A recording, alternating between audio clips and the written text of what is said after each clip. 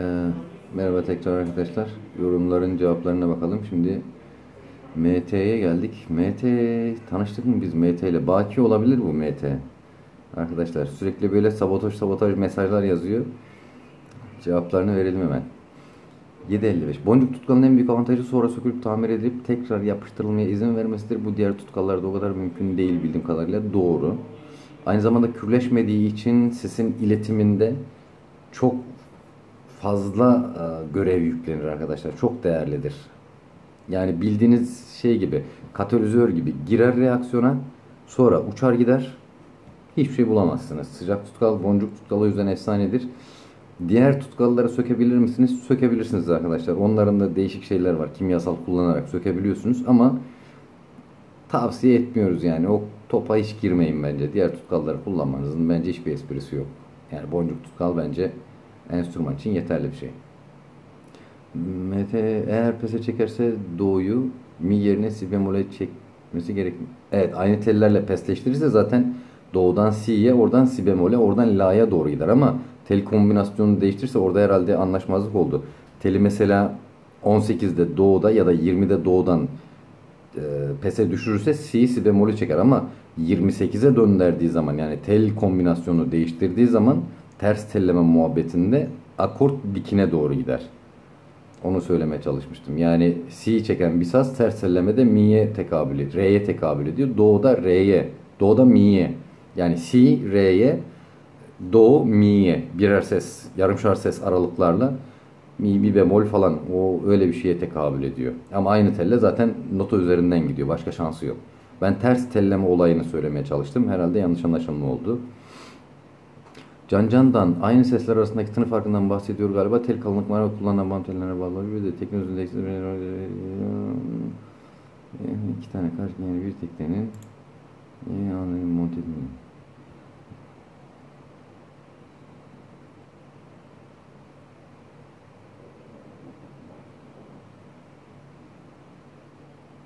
Doğru. Şimdi bam tellerindeki R sesi seslerin birbirini tutması diye tutmaması diye bir söz konusu bir şey olamaz arkadaşlar. Sadece oktavları farklıdır. Yani R'de biri D3'tür, biri D4'tür. Bunun kaynağı da tel kalibrasyonu, tel kalınlığı arkadaşlar. Bütün enstrümanlarda böyledir. Gitarda da mesela en alt tel mi'dir, en üst tel yine mi'dir. Ama oktav farkı vardır arkadaşlar. Bağlamada piyanonun bu konuda piyano baz alınır arkadaşlar.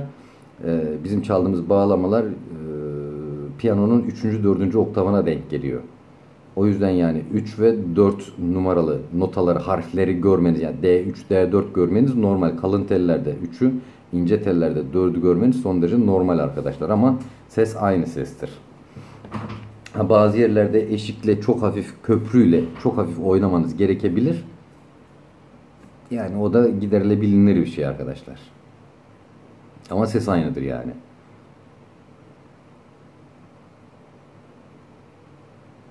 Frekansları tutturamıyor. Onunla uğraşman lazım biraz. Bu frekans tutmama olayı tel eskili yeniliğiyle de alakalı.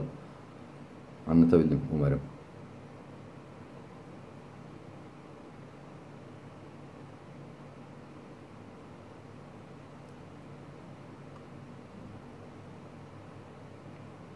Yani tel akordu yaparken arkadaşlar çelik teli şimdi e, bir taraftan da şeyleri okuyorum. Mesajlar okuyorum da arkadaşlar o yüzden şey yap konuşmaya devam edemiyorum. E, akort yaparken çelik telleri çelik telden bant tellerini bant tellerinden akord edin arkadaşlar. O zaman daha iyi anlarsınız bu olayı. Yani çelik tel çelik tel akordu yaparken bant telinden sesi almayın. En güzeli odur. Bir de e, tünörle kontrol ediyorsanız perdeleriniz vesaireyi orta telden, orta telden ses alın arkadaşlar. En sağlıklısı odur. Bant telinden falan ses almayın. Çünkü bant tellerin sağlıklılığından emin olamazsınız. Anlaştık mı arkadaşlar? Firmasıyla konuşup reklam alabilirsiniz. Hangi firmayla bilmiyorum. Kullandığım şeyler var. Firmalar artık bana reklam verecek arkadaşlar. ee, yoksa eşiniz yorum cevapları 7 videonuzun şey... Eşimden dayak yedim. Soranlara söylüyorum diyorum. Hanım vurdu diyorum böyle. Hiç kimse beni tutmuyor arkadaşlar ya. Hak etmişsindir diyorlar. Yok böyle bir şey yok ya. Böyle bir şey yok. Hiç sevenim yok şu dünyada. Geçmiş olsun. Teşekkürler. He, çok fena telefona bak. Evet korktum. 12.51 şey gibi mesaj bekliyorum derken MT MT MT yorum süper. İşinde mahir olursa ne denir o zaman? Ehil denir arkadaşlar. İşinde mahir olana ehil denir. Erbab denir. Ustalar içinde zaten mahirdir mi diyorsunuz yoksa ama her usta denen o kadar mahir olmuyorlar mesela. Aynen. Diliniz sürçtü galiba biraz ukalalık yapayım. Yap MT. 5 değil 50 mikron olacak. 1000 mikron 1 milimetre. Arkadaşlar bunu sürekli yanlış söylüyorum. MT doğru söylüyor. 1 milimetre 1000 mikron yapıyor arkadaşlar. 1000 mikron 1 milimetre. Ben böyle söylüyorsam bu videodan tekrar bakın. Ben orada yanlış söylemişimdir arkadaşlar. Orada e, 1 milimetrenin yarısı kadar. Zaten sentil çakısı dediğim o filler çakısı dediğim şeyi alırsanız görürsünüz hani 1 milimetrenin yarısı falan diye. 1 milimetre 1000 mikron arkadaşlar. Öyle söylüyorsam ben karıştırıyorum. Kafam o ara kesin bir yere gitmiş oluyor. Ben onu mikron diyorum ama yanlış. Doğru olanı 1 milimetre 1000 mikrondur. MT doğru söylüyor. Veysel Deniz. Arkadaşlar WhatsApp grubu 8-9 kişi olduk. Oho 80 milyar 8 milyarlık dünyada 9 kişi olduk. Süperiz. Arkadaşlar özellikle yurt dışındaki arkadaşlar e, yorumlar okuyun. Veysel Deniz yurt ben yurt dışı grubu kurun diyordum da yurt içi falan filan da katılıyor herhalde. E, WhatsApp'ta öyle bir grup kurdu. Oradan haberleşiyoruz. Gece gündüz uyutmuyorlar beni arkadaşlar bu arada. şey e, merak edenler böyle e, muhabbetiniz olur. Samimi bir şey, güzel bir şey yani. Veysel Deniz'e numaranızı bırakabilirsiniz. O size ekleyebilir. Ben de paylaşımlarda bulunuyorum orada. Sanırım ne kadar yorum yazılırsa evet doğru. Ee, Evet arkadaşlar WhatsApp grubu başarıyla kuruldu. Telefonla yayın Almanya, Hollanda, Almanya, Hollanda, İspanya, Fransa, Lüksemburg, İngiltere, Amerika, Amerika'dan biri gruba üye oldu arkadaşlar. WhatsApp grubuna. Yani artık deniz aşırıyız. Şimdi Çin'den falan bekliyoruz. Şu korona geçsin. Gerçekten gruba eklenebilirsiniz. Güzel bir şey arkadaşlar. Sipan Meran, e, selam değerli hocam. Gözünüz nasıl oldu? İyileşti mi? Merak ettim. Merak ediyorsan bakabilirsin. Sevgili Sipancım hiçbir şey olmadı. Aynen devam ediyoruz. Taner Kaplan, üstadım siz ladin kapak kullanıyorsun. Her ladin mi iyidir yoksa Artvin ladini mi? En iyisi bağlamayı tekne, 40 sap mount tekne kaç TL yaparsınız? Tamamen sade olacak. Flota falan olmayacak. Sap da tamamen sade olsa yani mümkün mertebe Asus'ta kullanma tek parça sap gibi. Numaranızı yazın. Atölye hakkındaki bilgilendirme videolarını okuyunuz. Ee, WhatsApp grubuna katılın isterseniz. Taner Taner Kaplan. Tamam orada bu sorulara cevap verdim. Ben Ladin kullanıyorum. Ladin'in tonlarını seviyorum çünkü ama bu şu manaya gelmez yani diğer ağaçlar çok kötü diye. Köknar'dan da çok güzel sesler alındığını biliyorum. Sedir'den de çok güzel sedir, e, sesler alındığını biliyorum. Ama benim tercihim kesinlikle Ladin'den yana arkadaşlar. Ustam teknedeki köprüyü hangi ağaçtan? Teknede köprü ses verir akça ağaç. Bu konuyu anlatacağım Taner e, Kaplan. Bunu genel olarak anlatacağım çünkü çok şey bir soru ama hemen burada cevap vereyim. Akça ağaç. Uzun yıllar kurutulmuş sık damarlı pullu akça ağaç. O ağacı kullanıyorum. Ustam hangi şehirdesiniz? Yanınıza gelebilir miyim? Ziyarete çok güzel bilgi ben saz yapmayı çok de çok yatkındır. Elimde 8 tane balon hepsini paylaşırız. Kendim bana YouTube'da magnetik konuya getirmek istiyorum. Bilgi nüfus. Müthiş faydalı Allah kalbinize göre versin. Sağ olun. Taner Kaplan lütfen videoları izleyiniz. Videoların hiçbirini izlememişsiniz anlaşılan. Videoların hiçbirini izlememişsiniz. Atölye hakkında videolar var. Numaramı yazdığım videolar var. Yorum kısımlarına bakın. Atölye hakkında bilgilendirme videosuna bakın. Orada her şeyi anlatıyorum. Böyle nokta atışı atölyeyi içini dışını gösteriyorum. Şurası burası diye. Onları seyredin bulursunuz. Ustam bir de Mounsap insanı yoruyormuş. Sebep?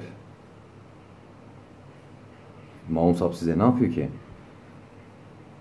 Hem bir de akça ağaç, kızıl ağaç, ağaç, kelebek ağacı aynı mı?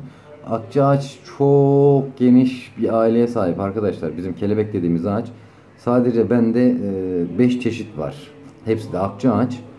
E, bu maun konusunda anlatmıştım. Bu sapelliydi, hondurastı, işte okimaydı, irekoydu vesaireydi falan filan. E, ağaçları familya olarak değerlendirmez lazım. Mesela e, şeyde sedir, ladin, köknar Bunların hepsi aslında çam ağacı arkadaşlar. Çam ailesinin ağaçları. Çam diyebilirsiniz bunlara. Ama dediğim gibi ailenin değişik fertleri. Ee, Maun sap insanı öyle saçma sapan bir şey olmaz arkadaşlar. Maun sap niye sap? Çünkü çalımla falan bir alakası yok yani Maun, Maun'un. Bir de Maun hafiftir yani. Şey olsa Akgürgen falan o ağırdır. Ama Maun sap ıı, yorma durumunu anlamadım. Hani sol kolda ağırlık olur. Ee, Bence şey Akgürgen daha yorucudur. Öyle ağırlık baz alınıyorsa Akgürgen daha şeydir, yorucudur. Ama Maun öyle çok şey değildir. Ağır yoğun bir ağaç değil, kof bir ağaçtır. Yani öyle çok böyle ağır, sert, yoğun bir ağaç değildir Maun.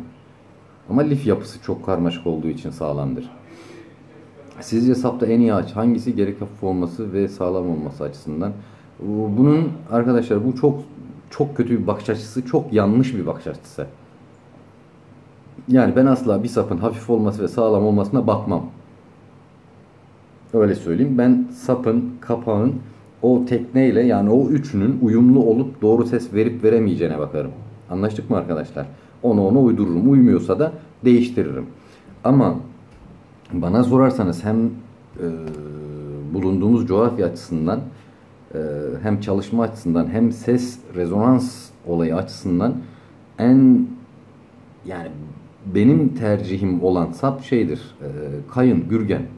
Ama onu kimse renginden dolayı sevmiyor. Bana sorarsanız 10 numara saplıktır arkadaşlar. Üstüne saplık yoktur. Kayından 10 numara olur ama şey yapın mesela kayın saplı bir tane ağaç yapın. Sesi 10 numara olsun. Ee, dünyada öyle bir saz daha yapılmamış olsun.